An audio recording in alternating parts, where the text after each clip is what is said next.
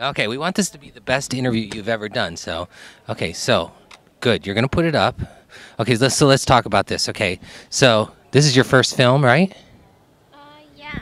Okay. Well, not my first film, but the first that I've completely animated myself. Oh, you need more sound? Yeah. So you did all of it. Uh, yeah. yeah, I did all of it. So how did you get involved in the film project?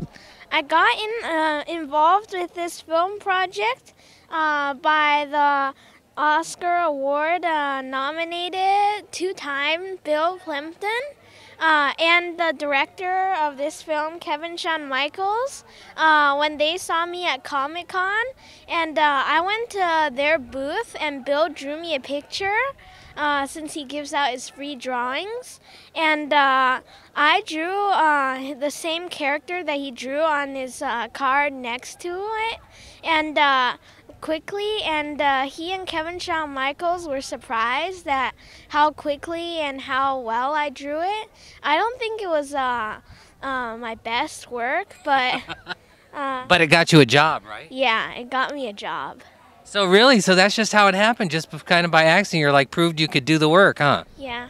So how many film festivals have you taken to so far? A bunch, huh? Um, yeah, uh, I don't know how many I've taken it to.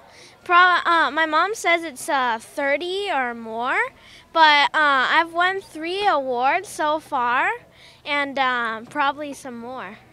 Awesome. So you're working on more animation, right? What's next? Uh, my next animation film is called Sticks, and it's about a stick figure uh, who uh, finds a magical pencil, and uh, the pencil can create whatever he draws into reality. Uh, and uh, he goes on an adventure and discovers creativity, and it's going to be done in 3D. That's amazing. You're gonna do all the animation on this too?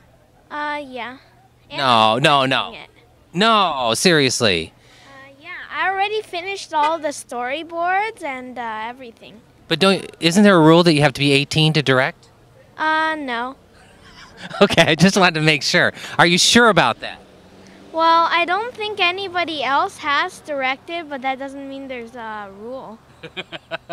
And so when do you think you're going to have it all done? That's a big project. It will probably take me about two years. 2 years. So then we'll see you on the red carpet again? Uh, yeah, probably. Will, will you do an interview with me again or are you going to be like, "Oh, oh no." Uh, that depends on the success of my film.